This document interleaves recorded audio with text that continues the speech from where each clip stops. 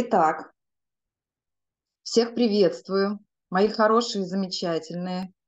А, всем выражаю свое глубокое уважение и почтение, потому что в этот солнечный выходной день, субботний день, первую половину дня вы решили посвятить тому, чтобы разобраться со здоровьем, услышать новую информацию, что-то улучшить в своем здоровье, да, а, то есть это неравнодушное отношение к своему здоровью.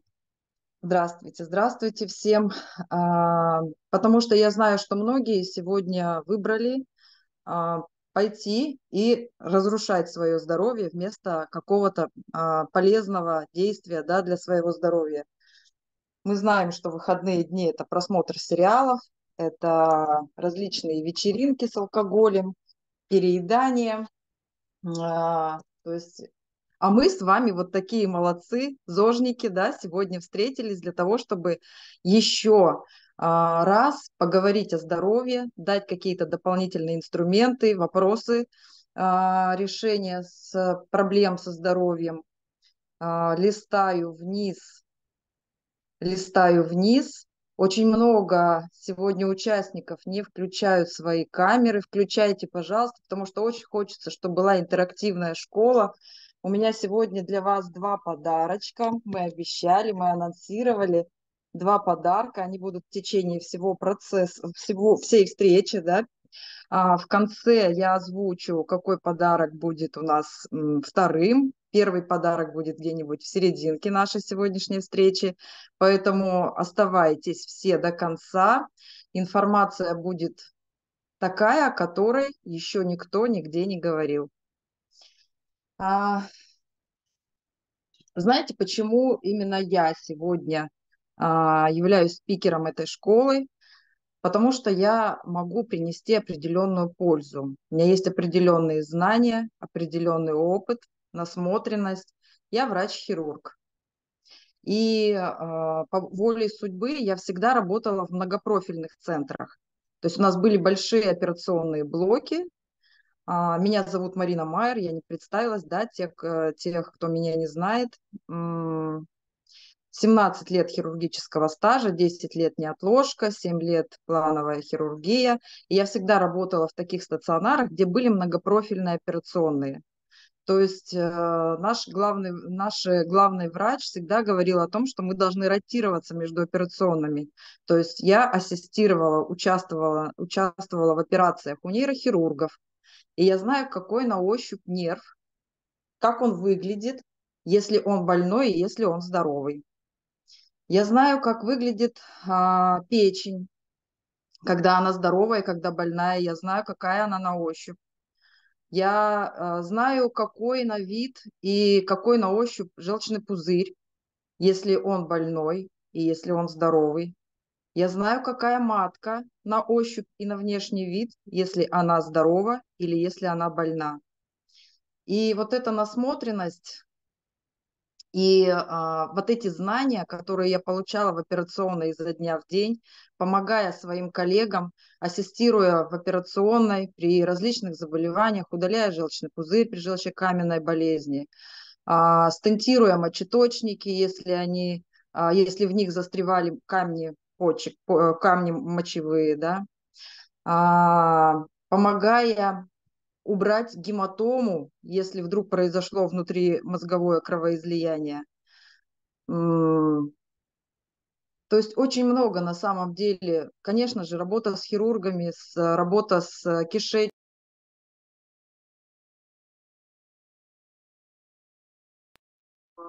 э, на самом деле патологии я видела и трогала своими руками. И поэтому вот эта насмотренность и а, определенная неудовлетворенность результатами врачебной своей работы, результатами того, что мы имеем после операции, она однажды сподвигла меня на то, чтобы разобраться в этом поглубже. Почему больные органы мягкие? Почему больные нервы мягкие? Почему они тусклые? Почему, а, знаете, есть такие мешочатые расширения а, каких-то сосудов, кровеносных, лимфатических. Почему, когда что-то болеет, рядом обязательно варикозно расширенные вены, которые уносят кровь от этого органа. А, и, конечно же, я однажды нашла такую информацию, как недостаточность соединительной ткани. Недостаточность соединительной ткани на сегодня – это признанное в официальной медицине понятие, а, которое лежит, которое определяет э, уровень развития заболевания любых органов. Э, я сейчас попозже объясню, что такое соединительная ткань. Э, в самом ее начале, в самом начале заболевания. И понимаете, если мы разгадаем вот этот ключ, если мы найдем инструмент, который поспособствует тому, чтобы соединительная ткань была функционально норма нормальной, тогда мы сможем профилактировать развитие многих заболеваний. Или если заболевания уже возникли, то тогда мы сможем а, начинать восстанавливать здоровье постепенно. Итак, соединительная ткань. У нас э, весь наш организм, он состоит из четырех видов ткани. Мышечная ткань, это девятый класс, анатомия, школа, все мы про это знаем, это не новое для вас, просто мы вспомним, да, как бы обобщим все. Соединительная ткань – это огромный орган в нашем организме, да, это все, все полые органы, кишечник, сосуды, лимфатическая система,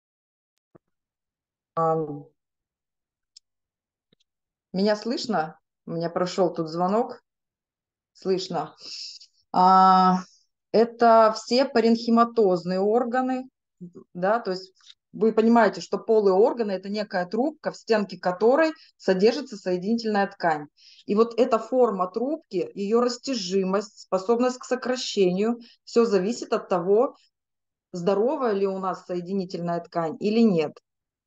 А, все паренхиматозные органы, печень, а, поджелудочная железа, щитовидная железа, это все органы, которые клеточки, да, щитовидной железе, щитовидной железы, клеточка гепатоцит а, печени, они все располагаются в определенном матриксе, в определенном каркасе, и это называется соединительная ткань.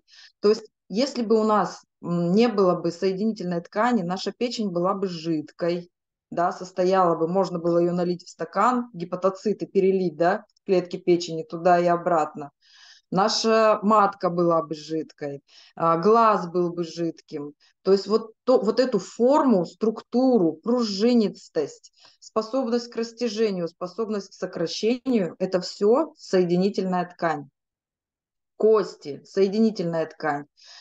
А, кровь, лимфа – это все соединительная ткань.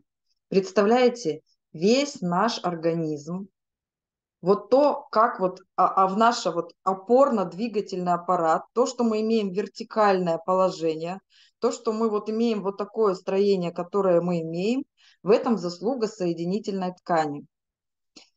А, я уже говорила да, о том, что у нас четыре вида ткани. Мышечная, нервная, соединительная ткань.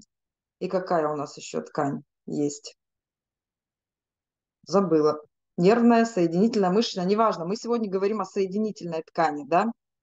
И а, вот именно то, в каком окружении клетки находятся а, наших органов, зависит то, как к ним придет питательное вещество, как от них уйдет питательное вещество, будут ли они сдавлены, будут ли они, а, костная ткань относится к соединительной ткани. Представляете, вот забыла, вылетела напрочь. Будут ли они сдавлены, будут ли они а, в свободном состоянии, сколько кислорода придет к клеткам. От этого, друзья мои, от состояния соединительной ткани, от этого каркаса зависит здоровье. На сегодня очень много мы говорим о красоте снаружи. Эпителиальная, да, спасибо, Ксения, эпителиальная ткань, все наши слизистые, а, это эпителиальная ткань, кожа, это эпителиальная ткань. Вот. А, а, все наши вся наша наружная красота, да, все это, все, все, весь наш внешний вид, все тоже зависит от состояния соединительной ткани, потому что кожа это, а, это, это эпителий снаружи, да, снаружи, а дальше идет под кожей а, соединительная ткань, и от ее состояния зависит то, будут у нас морщины, будет ли вид дряблой кожи, да, будет ли она ровная или неровная. И если снаружи мы видим какие-то изменения, и, нам, и у нас первый призыв к действию – это пойти обратиться к косметологу, который что-то сделает снаружи, да, с кожей с нашей. Мы видим морщинки, мы видим тусклость кожи, мы видим какие-то высыпания и предпринимаем действия. А внутри, представьте себе, если у нас появляются морщины, а что происходит внутри? Мы как, вы когда-нибудь об этом задумывались? Вот каждая наша морщинка на лице ведь она сопровождает, ведь это говорит о том, что внутри соединительная ткань, она тоже страдает. И каждый наш орган начинает а, испытывать какой-то дискомфорт сначала, с которым организм какое-то время может справляться. И если ему не помочь, вовремя не а, вовремя, как говорится, не постелить соломку, то однажды деструктивные процессы в наших внутренних органах с этой соединительной ткани начнут преобладать над э, синтезом. И в этом случае начнут развиваться различные заболевания. Что влияет на состояние соединительной ткани? Как вы думаете, что влияет на состояние соединительной ткани? Соединительная ткань бывает разная, да? Кости – это твердая соединительная ткань. Связки, хрящи – это эластичная соединительная ткань. Вот Маргарита пишет коллаген. Уровень коллагена в организме влияет на состояние соединительной ткани. Одно из условий, согласна. Как думаете, что еще? Что еще влияет? Коллаген, эластин пишут. А, Андрей пишет, вода, да, питание, вода. Все правы. На самом деле а, соединительная ткань, вот эта вот ее эластичность зависит от уровня увлажненности, от того, как мы питаем, а, от того, что мы даем, какое количество жидкости мы можем предоставить нашей соединительной ткани. А, вообще соединительная ткань не относится к важным тканям для нашего организма. Ну что, ну что для организма я имею в виду в плане жизнеспособности. Ну что для нашего организма кости? Ну что для нашего организма суставы и хрящи? Ничего. Самое главное – обеспечить водой в первую очередь мозг, сердце, почки, легкие. Это те органы, от которых зависит наша жизнеспособность, да, наша жизнь. Поэтому, если мы пьем мало, то ту долю воды, которую мы пьем, ту маленькую долю, организм в первую очередь отдаст кому? Сердцу, почкам, легким. А все то, что мы не допили, значит, мы оставляем в дефиците свою соединительную ткань. Мы оставляем в дефиците кости, да, не, не, не поим их, а, а на минуточку есть определенный химический состав костной ткани, в котором должно быть определенное соотношение воды, молекулы H2O, да, органических и неорганических соединений. И от преобладания, от баланса органики и неорганики, воды и э, каких-то твердых э, неорганических соединений, которые вот э, определяет вот эту вот твердость э, костной ткани. От этого как раз-таки и зависит то, как наши кости а, будут функционировать. А что у нас за функционирование костей? Это обеспечение наша опорная, да, опорная, двигательная активность наша.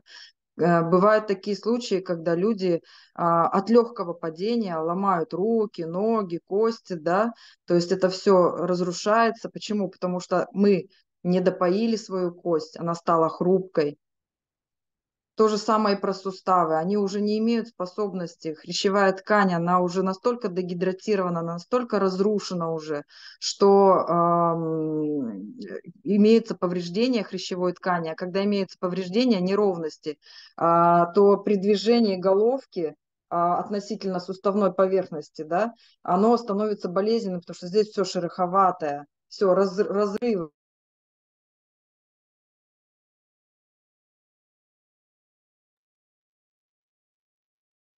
И поэтому, конечно, одно из главных условий – это водный режим.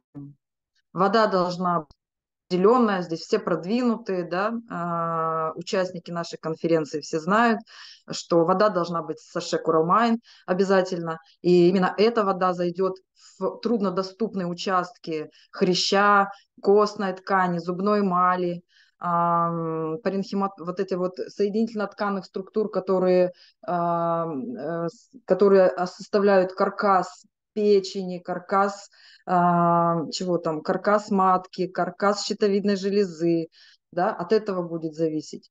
Второе важное условие для того, чтобы соединительная ткань была мощной, способной к функционированию, это, конечно же, ее обеспеченность коллагеном. Коллаген – это белок. И сейчас очень много информации о коллагене. Кто-то говорит, надо пить, кто-то говорит, да просто костным бульоном можно заменить. Кто-то, э, в общем, информации на самом деле очень много, и в этом очень трудно э, запутаться, да. Очень легко запутаться, очень трудно разобраться.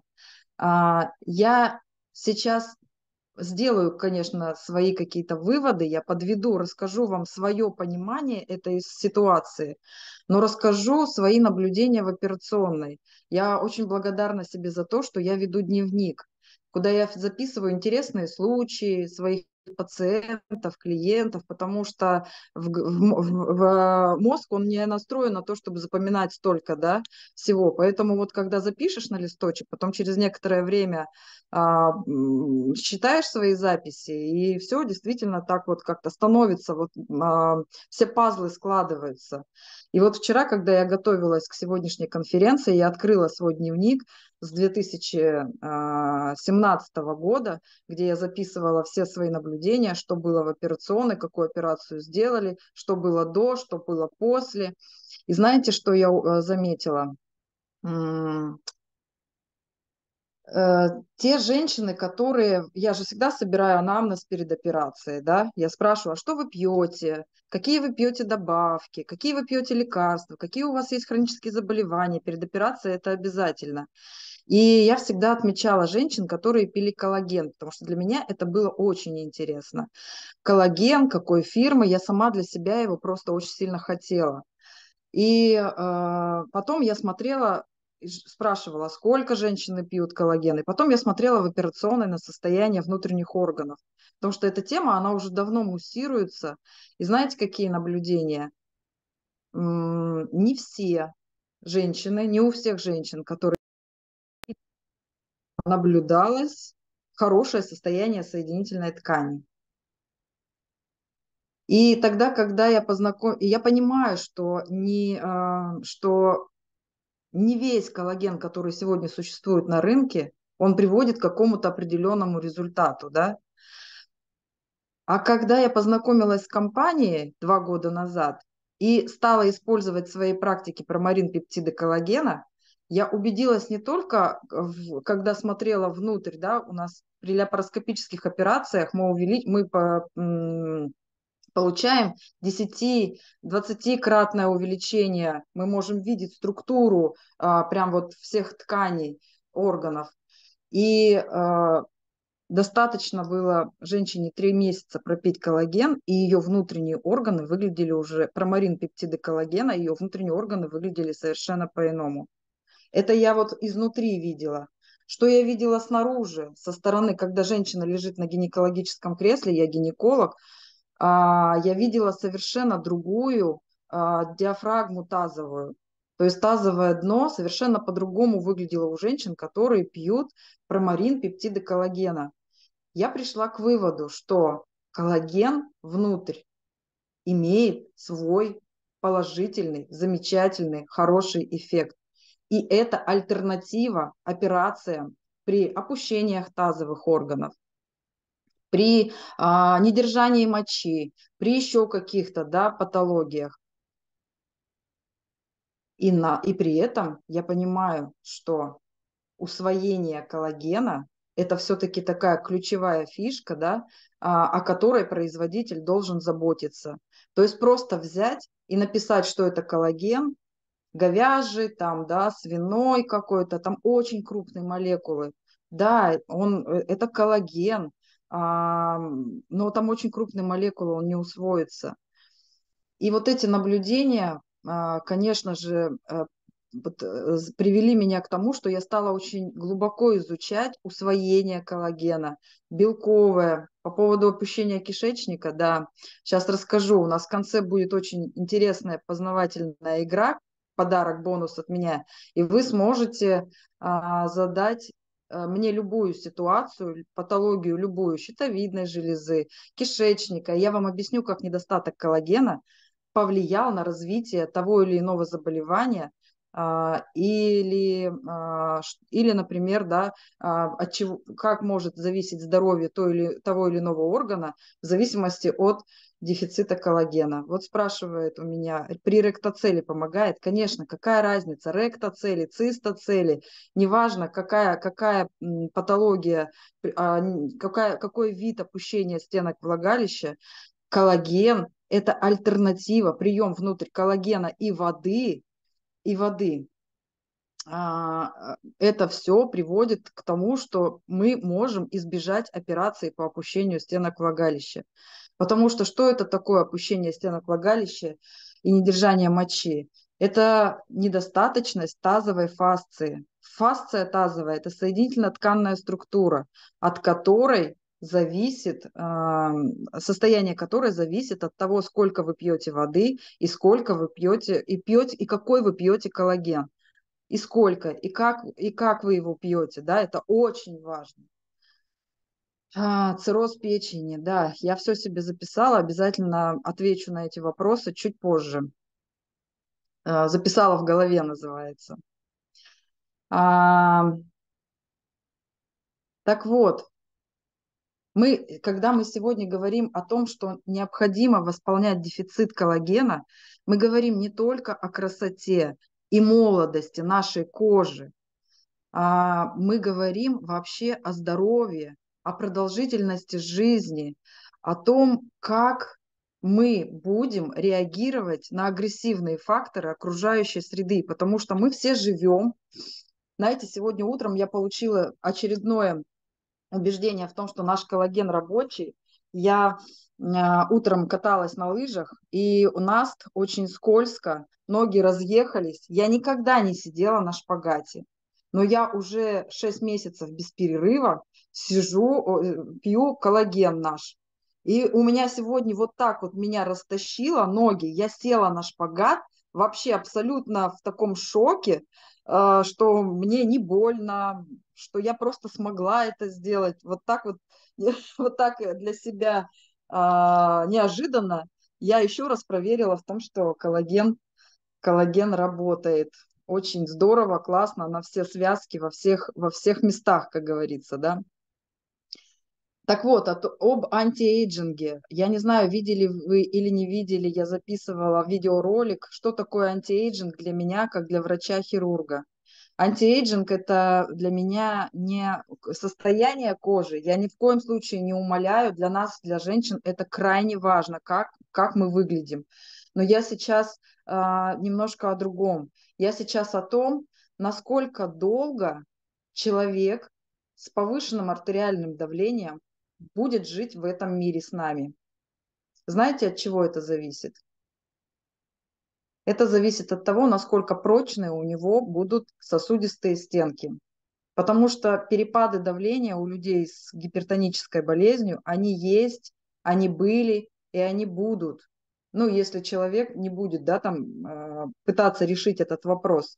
Но прочность сосудистой стенки когда вот эта ударная волна, высок, повыше гипертонические кризы, когда резко повышается давление, сердце с силой выбрасывает большой объем крови, и начинают сосуды расширяться, потому что, ну, а как им по-другому, да?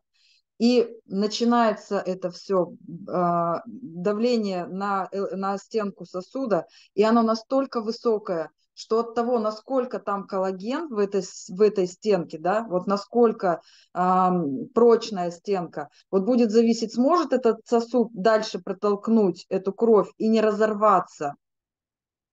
Если же стенка не прочная, если коллагена мало, если он разрушен, если воды не допили, то про коллаген а, влияет на грыжи позвоночника. Да, про это я тоже сейчас расскажу. И вот разрыв сосуда иногда бывает фатальным. Не иногда, а чаще всего. Потому что разрыв сосуда – это кровоизлияние. Кровоизлияние в мозг, инсульт по геморрагическому типу, да, говорят, инфаркт миокарда, крово... разрыв аорты, это смертельная, а, там очень малый процент выживаемости, разрыв аневризма аорты, аневризма мозговых артерий, при повышении давления при гипертоническом кризе. Так вот, про anti-aging, возвращаясь к тому, да, сколько человек, какова будет продолжительность жизни человека, у которого поставлен диагноз гипертоническая болезнь, зависит от того, какой уровень коллагена в его сосудистой стенке. А по поводу грыжи межпозвоночного диска. Я а, работала в многопрофильном центре и ассистировала нейрохирургам, своим коллегам при грыжах межпозвоночных. И вы знаете, а, очень а, такая грыжи все на ощупь. Что такое грыжа межпозвоночного диска? Каждый позвонок между собой соединяется межпозвоночным диском, который представляет из себя такое фиброзное ядро, ой, фиброзное кольцо, это вот такие волокна соединительной ткани, они так вот закручиваются по кругу. А внутри а, пуль, пульпарное ядро. Это тоже хрящевая ткань, это тоже соединительная ткань. И вот это пульпарное ядро, оно так сильно сдавлено между нашими позвонками, и оно все время стремится расшириться. Это нам нужно, это нам необходимо, потому что нам, наш позвоночник должен иметь способность к амортизации. Вот поняли, да, когда что-то находится окруженное чем-то плотным в центре, вот это ядро, которое может э, расшириться в любую сторону при наклоне позвоночника, да, когда мы наклоняемся вперед, пульпарное кольцо, благодаря ему мы можем наклониться вперед, можем отклониться назад. И вот это свой, и вот э, тогда, когда происходит разволокнение фиброзного кольца, которое держит в себе вот это пульпарное ядро, вот если оно разволокняется тогда, когда нет коллагена или мы не допиваем жидкости, да, а, а чаще всего это, все эти два фактора совмещаются, вот тогда это ядро, которое стремится выйти туда, где ему свободно, вот оно выходит за пределы фиброзного кольца и возникает сперва протрузия, так называемая, я думаю, многим знакомо это, этот термин, да, Поставьте плюсики, если кто-то слышал такой диагноз – протрузия межпозвонковых дисков. А потом возникает грыжа. Эта грыжа сдавливает э, корешок нервный, и возникают различные, и возникают болезненные ощущения. А, все, весь этот, этот э, нервно-сосудистый пучок, он сдавливается. Естественно, тот орган, к которому идет этот э, нервно-сосудистый пучок, вот, пишут люди плюсики, то есть слышали про протрузию диска. Вот этот сосудистый пучок, он идет к какому-то органу. И если грыжа его сдавливает, то, конечно же, э, этот пучок, он, к которому он идет, к какому органу, этот орган начинает страдать. Нарушается его кровоснабжение, иннервация. И у нас начинает там, а, как, говорит, как, говорятся, как говорят в простонародье, да, сохнет нога, сохнет рука, да, там нарушение тазовых органов. Так, Светлана спрашивает, если уже сделали операцию, удалили грыжу, как повлияет на это коллаген? А, скажите мне, пожалуйста, вот если а, человека отвезли в операционную и удалили а, то, ради чего он приехал в операционную, да? Ну, давайте вот с грыжей. Вот привезли его в операционную, удалили ему грыжу. И что дальше? Его вывезли. А у него как, как была причина с ним, да, то есть вот а он был недопитый, у него несостоятельность соединительной ткани, у него дефицит. Что произойдет с этим человеком дальше? Ну, удалили эту грыжу, поставили туда новый межпозвоночный диск, который, ну, там сейчас очень много эти железки ставят, там очень много приспособлений. Да, вот Ульяна пишет, опять вырастет, вырастет в другом месте, в другом, следующий, ниже лежащий или выше лежащий межпозвоночный диск вывалится.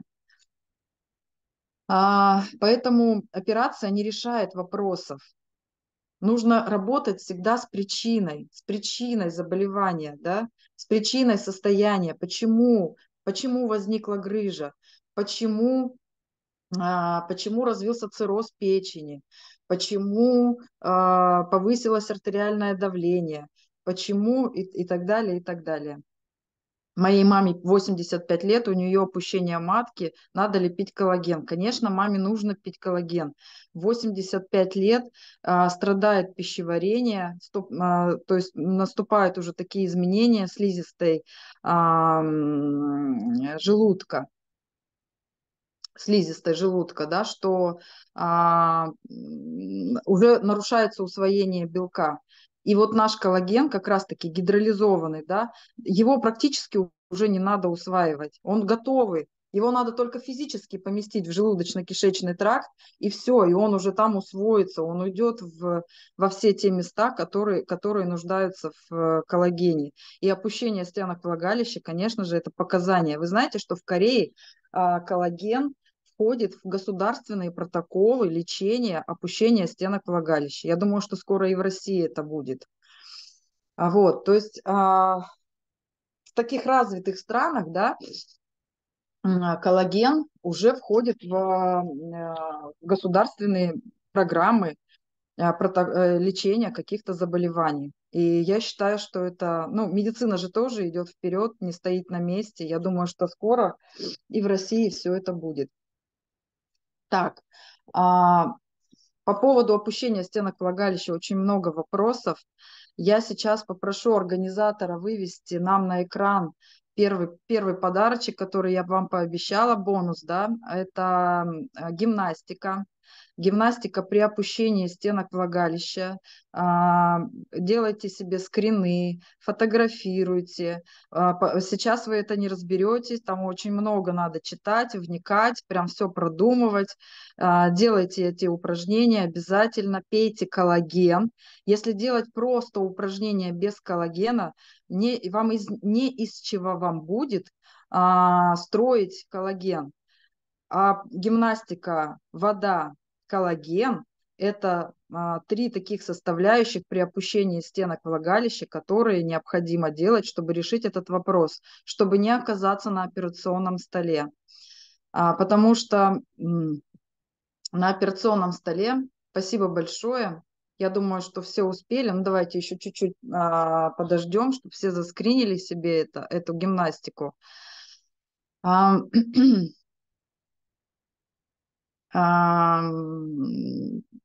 то есть, э, когда, когда мы идем в операционную по поводу, а, по поводу опущения стенок влагалища, я очень часто, а, мои коллеги, я, мы использовали сетчатые импланты.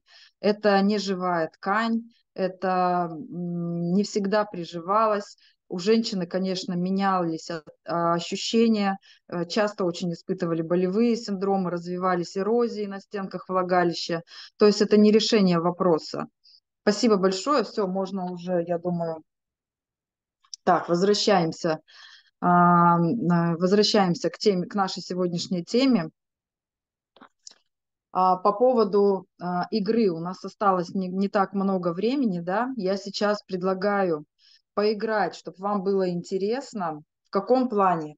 Включайте, организатор разрешит нам, да, наверное, чтобы люди могли включить микрофон а, и спросить а, какое-то, то, что их интересует, да, например, у моей мамы там а, аутоиммунный тиреоидит, скажите, пожалуйста, каким образом дефицит коллагена или недостаточность соединительной ткани повлияла на развитие этого заболевания. А, мы сейчас, я прошу только вас а, задавать мне вопросы именно по недостаточности соединительной ткани и по коллагену. Можете просто назвать какое-то заболевание, и я расскажу, каким образом дефицит коллагена, что, э, что произошло, каким образом дефицит коллагена сыграл роль в развитии того или иного заболевания. Я пока люди у нас осмеливаются, набираются смелости, буду читать вопросы из чата. Так, аутоиммунный тиреоидит. Вот первое, что я прочитала, это аутоиммунный тиреоидит. А щитовидная, аутоиммунный тиреоидит – это заболевание щитовидной железы. А, раз это заканчивается на ид, значит, это воспаление значит, это воспаление, значит, в щитовидную железу села какая-то инфекция, вызвала ее воспаление.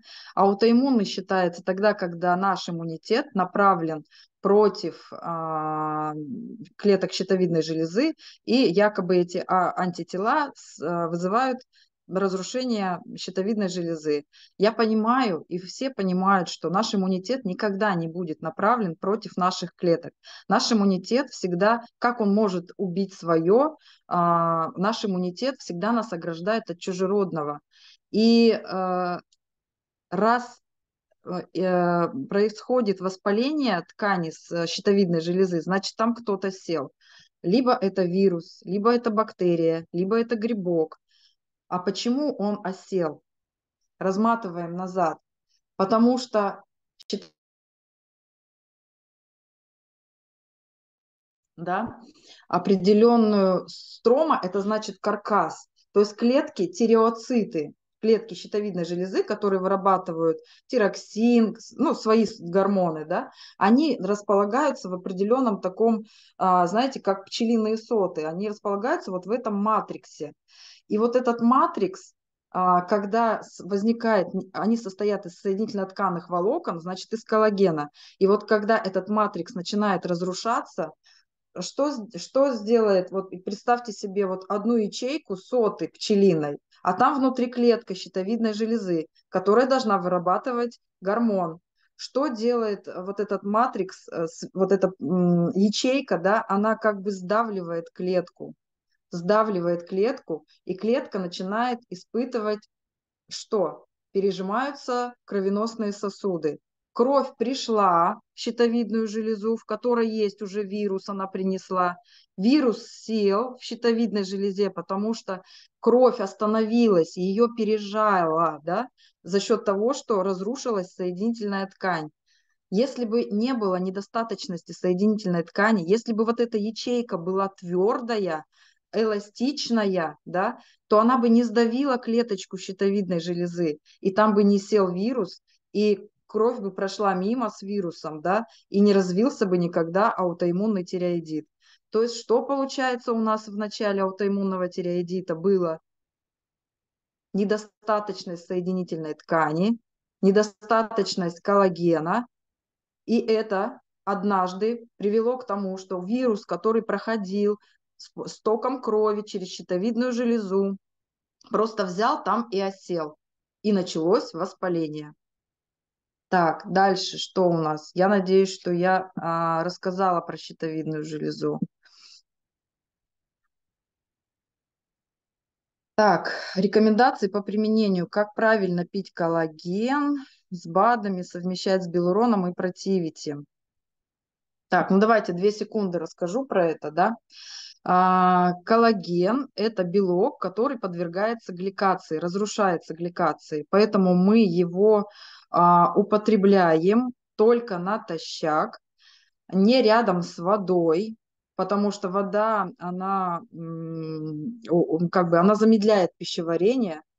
А, можно пить коллаген с утра натощак. Сперва выпейте воду, сперва включите свой двигатель, желудочно-кишечный тракт, теплую воду с Coral Mine, Потом через 40 минут, пожалуйста, пейте коллаген. Через 2 часа можно кушать начинать. Можете на ночь его принимать. Неважно, я же не знаю, какой у вас график питания. Как вы, как кто-то завтракает, кто-то не завтракает, кто-то ужинает, кто-то не ужинает. Главное, чтобы это было натощак. И э, очень важно понимать, какой коллаген, в чем преимущество нашего коллагена, промарин, пептиды коллагена – гидролизованный, расщепленный.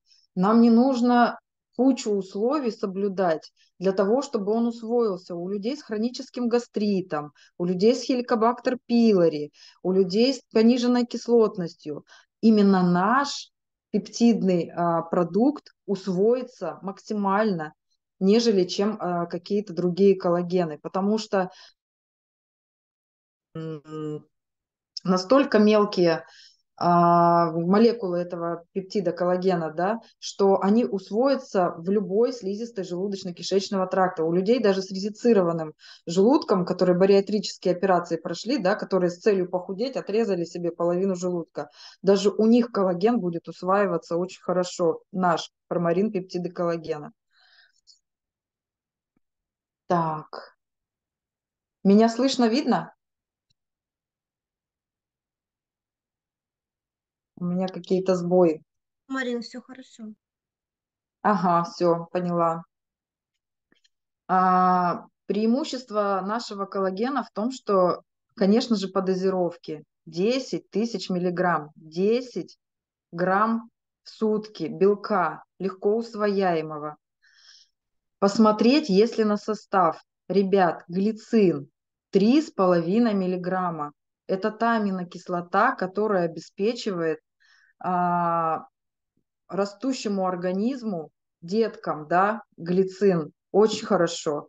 А, растущему организму у них формируется головной мозг, клетки а, формируют какие-то связи, а, и много-много да, всяческих таких вот процессов происходит. Глицин нужен тем, кто плохо спит, нарушение сна. Да глицин всем нужен. Это такая аминокислота, которая обеспечивает нормальную работу нервной ткани и болезнь Альцгеймера, да, много уже сейчас говорят о болезни Альцгеймера. Когда я говорю про anti-aging как врач, да, я всегда говорю еще про то, во сколько лет э, нас посетит старческое слабоумие. 45, 60, 85, а может быть мы в 106 лет будем стихи рассказывать и вспоминать с четкостью до деталей, да, а, то, как мы а, там с детьми поехали куда-то в парк, все, все точно, все, все детали помнить. И вот, вот именно состояние головного мозга и болезнь Альцгеймера зависит от того, есть у человека недостаточность соединительной ткани или нет.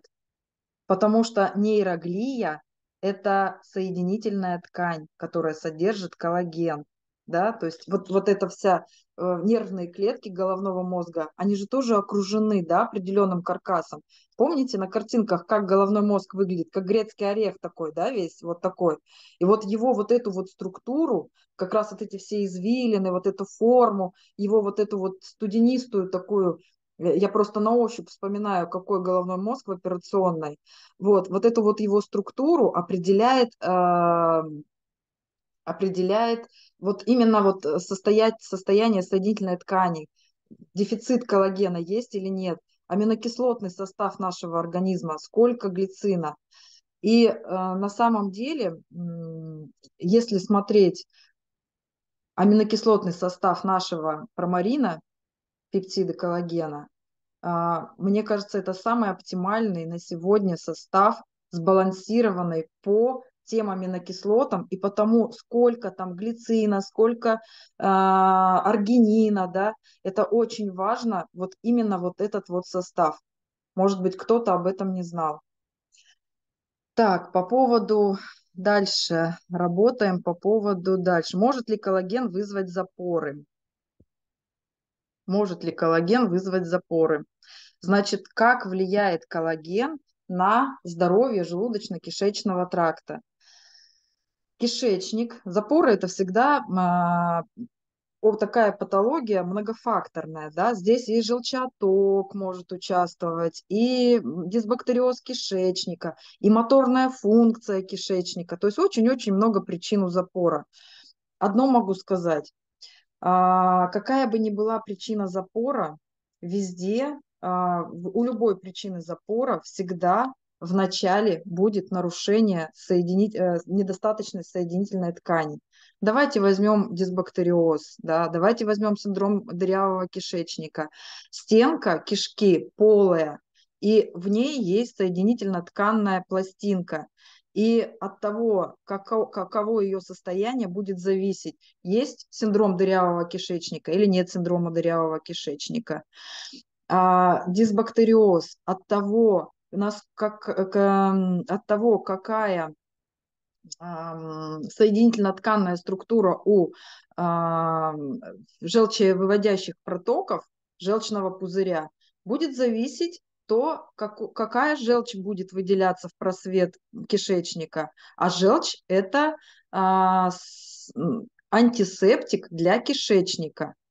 То есть все то, что там плохое развивается, если желчь, отток желчи будет нарушен, а, то тогда развивается дисбактериоз. А на, отток желчи когда у нас нарушается? Когда есть нарушение сократительной функции э, желчного пузыря, когда есть нарушение э, сокращения да, всех вот этих желчных протоков, а на них влияет, на то, как они будут опорожняться, да, как будут, в каком состоянии будут выводить желчь, влияет как раз-таки состояние стенки самого желчного протока, желчного пузыря. А, поэтому на запоры, конечно, влияет а, в том числе. Я сейчас не говорю о недостаточности коллагена как об одной уникальной, универсальной проблеме, которая все решает.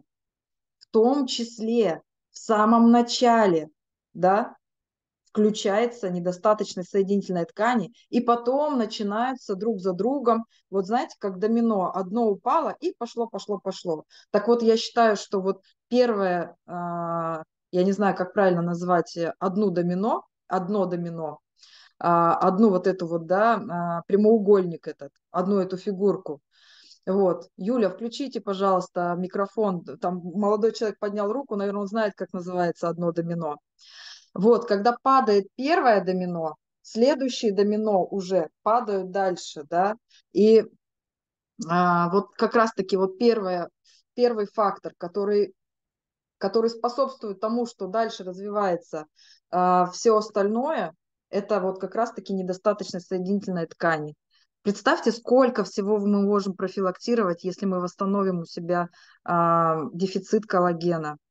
Представьте, сколько всего мы можем предотвратить, сколько катастроф, сколько неприятностей. Представьте, что, что мы сможем с вами сделать.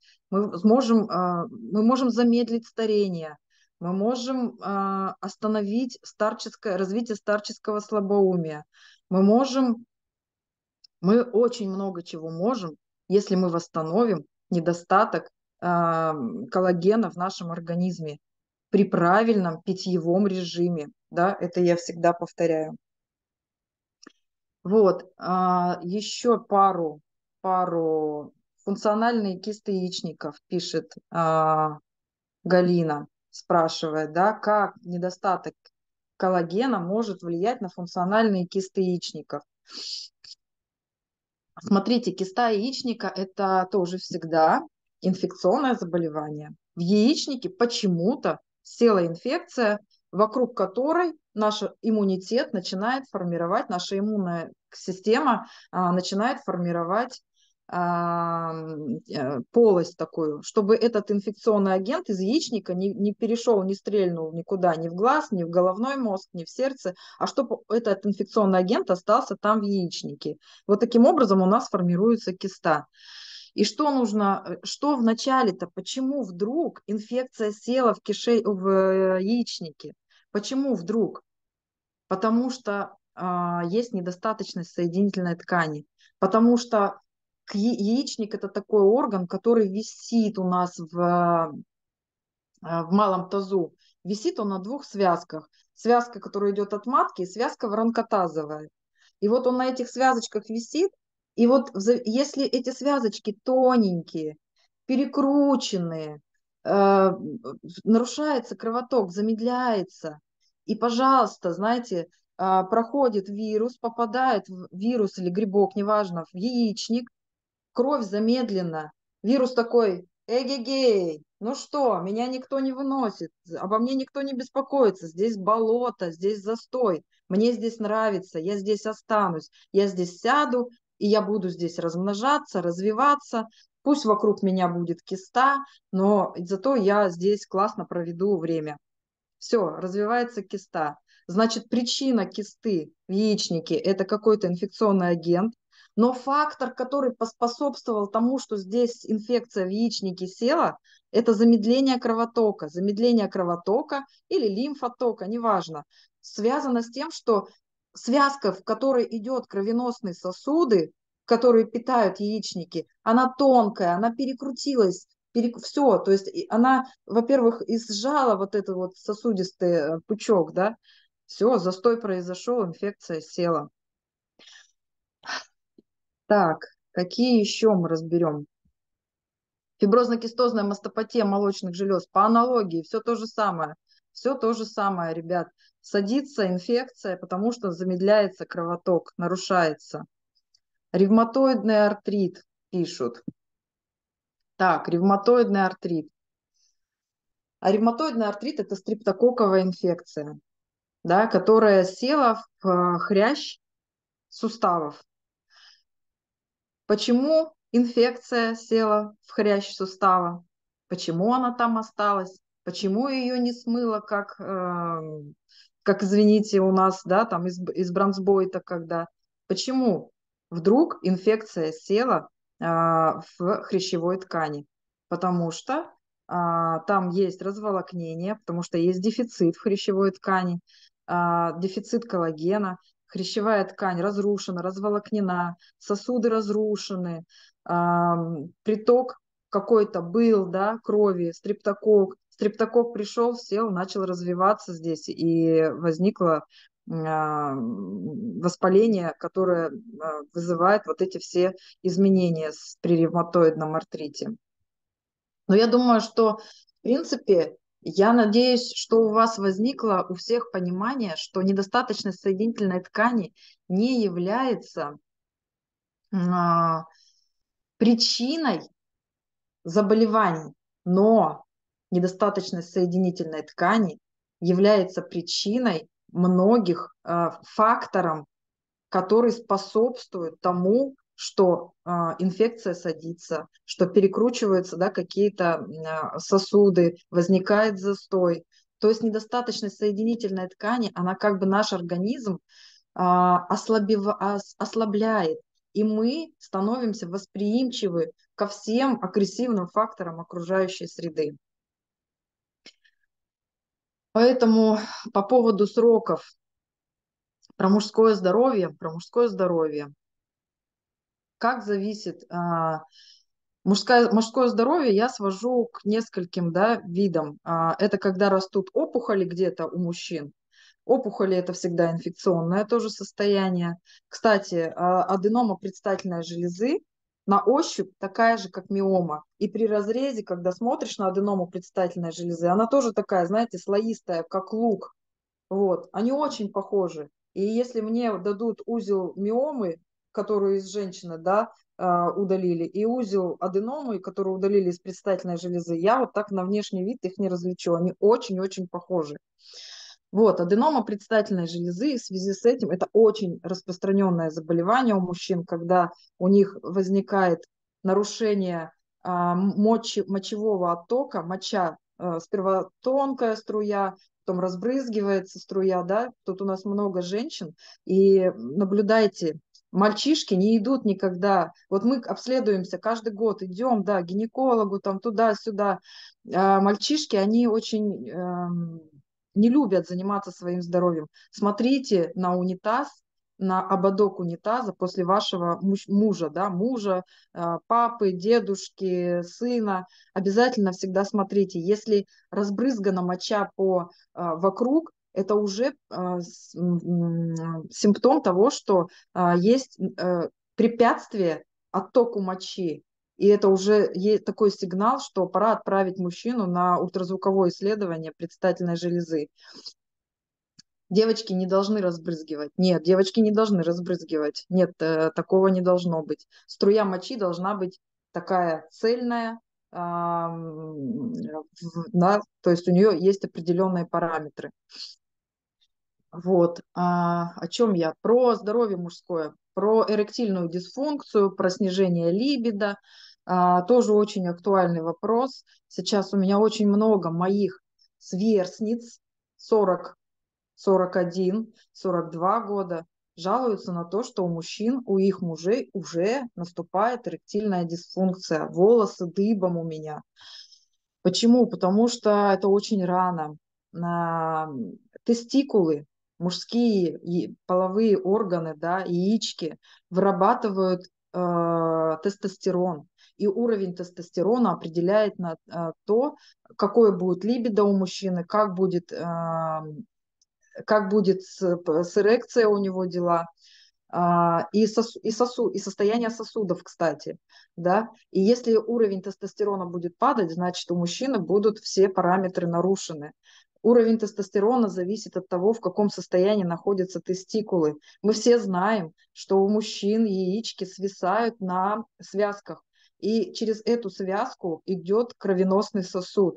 И от того, в каком состоянии эта связка, достаточно ли коллагена, будет зависеть, сколько крови придет к яичку и, ско- и сколько крови а, уйдет от яичка, лимфы, крови, неважно чего, да.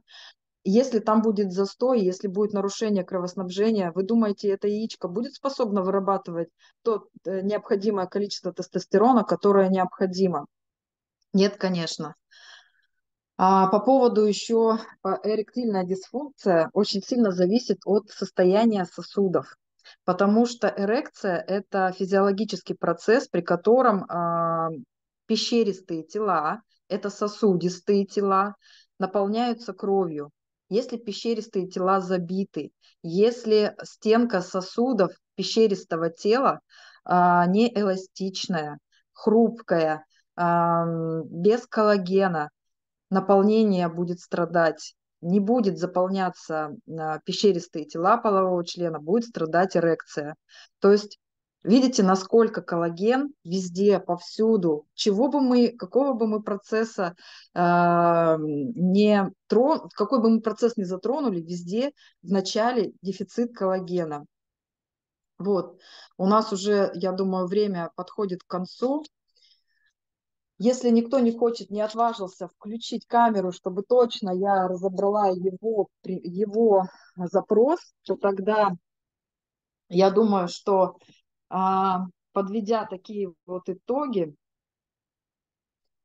подведя такие вот итоги всей нашей сегодняшней, всей нашей беседы, я хочу сказать одно. Что бы кто ни говорил, для меня на сегодня для меня, для здоровья моих близких, а, для тех, кого я знаю, кому я могу донести эту информацию, я всегда буду говорить о том, что коллаген надо принимать в виде биологически активной добавки. Костный бульон, да пожалуйста, если вы его любите. Холодец, да пожалуйста, если его, вы его любите. Можете пить 10 литров э, этого костного бульона каждый день, да пожалуйста, я не против. Если вы хотите пить каждый день 10 литров э, э, бульона костного и съедать по 10 килограмм холодца, я не против. Лично я для себя выбираю другое. А, я выбираю, конечно же, ежедневный, регулярный прием коллагена. И знаете, когда мне говорят, ой, это так трудно, Марина, или если это пациентки, Марина Анатольевна, это так трудно, это так сложно, это так дорого, я говорю, вы знаете, ваше здоровье зависит только от вас. И если вы не хотите вложиться ни временем, ни какими-то трудозатратами, ни какими-то а, вложениями в ваше здоровье, я умываю руки. Я дала эту информацию вам. Я рассказала, а ваше дело уже, да, что с этим делать. И не говорите потом только, что «а я ведь не знала». Ведь очень много на самом деле было у меня печальных разговоров с моими пациентами, когда я а, работала в стационаре, когда женщины плакали, плакали с такой душевной болью о том, что если бы я знала, что к чему может привести вот это или вот это. Если бы я знала, как это профилактировать, как это предотвратить, я бы обязательно это сделала. Но ведь мне никто об этом не рассказал. Ведь мне никто про это никогда не показывал. И, пожалуйста, Марина Анатольевна, расскажите всем женщинам, кого вы знаете, до кого вы сможете физически дотянуться. Обязательно расскажите эти знания. И потом они уже не смогут сказать того, что «а мы не знали, а нам никто не говорил». Я всем желаю Марина, у нас, а, Марина, есть вопросы ага. из зала, поднятая рука. Ответишь? Вопросы? Да, давайте, давайте. Еще немножко. Олеся, да. она. Да, да, здравствуйте. Да. А, у меня вопрос. Да. Видно меня? Ну, я пытаюсь пролистать, да, все, Олеся, вижу, вижу. Ага. Угу. Да, у меня вопрос. А, я сейчас в такой, в такой вес вошла, 53 килограмма, уже очень давно. У меня все время был где-то, наверное, а, вот я помню, 2017 год, вот 58. И вот эти вот 5 килограммов, это ушло, а, я ну, занималась активно ходила на массаж, у меня вот лишняя вода ушла, потом я пью воду давно, но вот коралловую э, третий год. И сейчас вот держится вес 53, и я э, хочу э, набрать мышечную массу. То есть у меня мышцы есть, но хотелось бы, чтобы было их больше. Я на концепцию уже тоже два года, пью и Коралл Детокс Плюс, коловаду делаю, и противопаразитарки, но а, вот именно чтобы как кормить свое тело, я периодически вот, то, ну, тоже по схеме там мне врачи коралловские прописывали, я делала и кальций, и цинк, и селен, то есть все это в перемешке. То есть, в чем суть вопроса, по, Олесь? В чем да, суть вопроса? Поем, кормим, да, поем, кормим, чистим. Мне сейчас вот что нужно сделать так, чтобы э, правильно набиралась мышечная масса. То есть что мне нужно э, подключить, чтобы это все росло правильно. Вот, физической нагрузкой я занимаюсь. Сейчас еще интимной гимнастикой, не просто по кегелю, а именно э, прокачивая э, мышцы тазового дна, диафрагмы все, ну, то есть все вместе, целостный подход такой. Олеся, вы молодец. Во-первых, вы да, очень спасибо. смелая и, и и включили камеру и задали этот вопрос. Да, ну потому что 40, 41 год хочется, чтобы все функционировало, и не только мышцы сверху, и еще и внутри, вот так я бы сказала, наверное. Потому что я думаю... Да, на то, на мышечную массу, на баланс между жировой тканью, мышечной тканью, всегда будет влиять э, нагрузка физическая, но вы сказали, что вы этим занимаетесь, и всегда будет влиять э, рацион питания, да, то есть углеводы минус, мышцы плюс. А, я имею в виду, если мы убираем углеводы, у нас перераспределение идет в сторону мышечной ткани. Конечно же, это противити, а, коллаген, знаете, что я еще хотела добавить эм, к тому, чтобы э, это по поводу вот мышечной ткани, хрящевой ткани, суставной ткани, для того, чтобы туда притянулось большее количество воды, чтобы они не были сухими. Необходимо все-таки добавлять в свой организм гиалуроновую кислоту. Гиалуроновая кислота, она как э, магнит тянет на себя воду, молекулы воды одна молекула гиалуроновой кислоты притягивает 600 молекул воды. И вы представляете, вот в белуроне гиалуроновая кислота, она тропна, она любит избирательно накапливаться в хрящевой ткани, в мышечной ткани, в коже. И таким образом она магнитом тянет в эти структуры, не в, не в, не в отеке да, куда-то, а притягивает воду, молекулы именно туда. И сочность мышечной ткани будет зависеть от уровня гиалуроновой кислоты. Белурон, коллаген, противити, зарядка, питание, все. Следующий, кто-то еще хочет задать вопросы? Ага, включайтесь. А, всем здравствуйте. Марина, спасибо большое за информацию такую полезную. Я думаю, что меня и, возможно, многих интересует, э, а, в какой дозе можно в данном случае у меня девочка это такая средняя активность, то есть не сильно спорт. Плохо слышно, да? Маргарита, не слышно было вопрос. В какой дозе что? А ребенку, допустим, 8 лет можно давать ну, на ежедневной основе половину бутылочки, то есть при нашей дозировке 10 тысяч, а, вот в таком плане. А, по детям. У меня ребенок пьет коллаген, а, ему 15 лет, 70 килограмм. У него, когда он начал сильно расти, разрывы кожи, и я ему давала по две бутылочки в день. И прям вот эти разрывы кожи, они прям превратились из этих красных, кожа начала восстанавливать свою структуру. Я знаю, что многие, я просто сейчас вспомнила, я знаю, что многие мамы не знают, что делать с растяжками на груди у девочек, да, которые там растут. Э, сейчас вот молочная железа очень быстро. Мальчишки очень быстро растут, у них надрывы кожи. Вот давайте коллаген в двойной дозе. При каких-то травмах мы коллаген даем в двойной дозе. Нет дозировки, мы не, не можем перенасытить коллагеном детский организм, потому что у них метаболизм в 4 раза больше, чем у меня, например, в 40 лет, в 10 раз больше, чем у человека в 80 лет. Поэтому скорость найдут, найдут куда, э, если будет, допустим, ну, да, чуть-чуть больше, да, там дадим коллагена, найдет, найдется обязательно то место, где при, при, понадобится этот же глицин.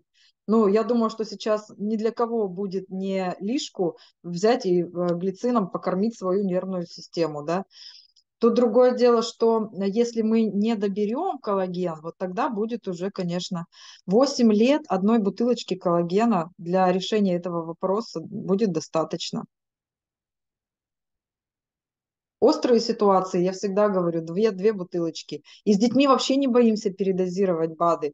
У них скорость такая большая метаболизма, что... Так, ну что, я думаю, что на сегодня мы будем завершать наш эфир. Так, ответили на вопрос на ревматоидный артрит. Все, вроде бы, вроде бы мы всем, да, поговорили. Итак, я хотела закончить этот эфир тем, чтобы пожелать вам, но не просто здоровья, да, как бы пожелать здоровья, это банально. Я хочу пожелать каждому осознания, принятия, трудолюбия, трудолюбия, потому что для того, чтобы сохранить свое здоровье, предотвратить заболевания, это требует больших трудо, это трудоемкий такой процесс, да, который в самом начале он трудоемкий, потом это все переходит в привычку, в стиль жизни. И для того, чтобы а, дети не умирали от рака крови, для того, чтобы женщины не а, испытывали приливы климакса в 30 лет, для того, чтобы у мужчин была доблесть, а не импотенция, для того, чтобы в 40 лет мы не встречали людей с пограничными психиатрическими состояниями. А это все как раз-таки, это все э, а, про дефицит коллагена. Я желаю всем здоровья все-таки в конце концов.